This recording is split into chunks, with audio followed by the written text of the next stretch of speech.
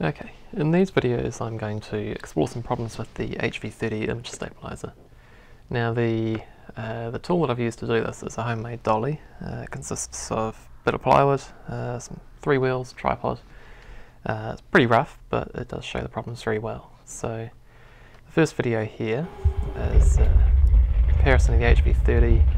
The one on the left has the stabilizer on, and one on the left has uh, the one on the right has the stabilizer off and as you can see it makes pretty much no difference at all.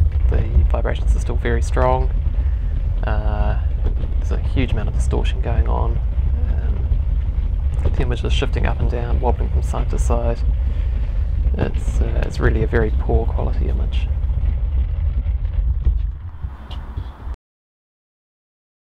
Okay, second clip here shows the, uh, on the left we've got the HV30 and on the right we've got the Panasonic DS30.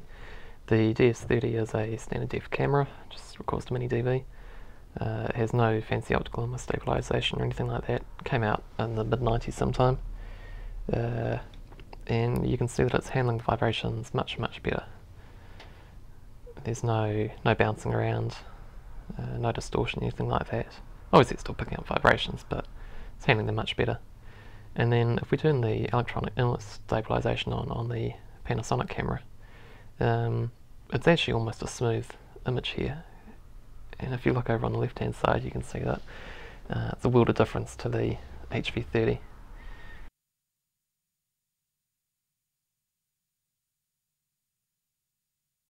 Now this is the Sony HC3 versus the Canon HV30. Uh, slightly different environment this time but you can see that the HC3 handles vibrations much much better. Uh, the image, I mean, there's still vibrations coming through, but the image isn't jumping up and down or wobbling from side to side or anything like that. Uh, compare that to the HV30 and it's, uh, it's a whole different ballgame.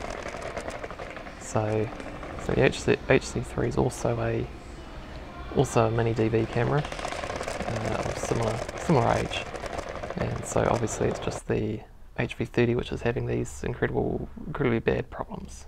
Okay, thank you.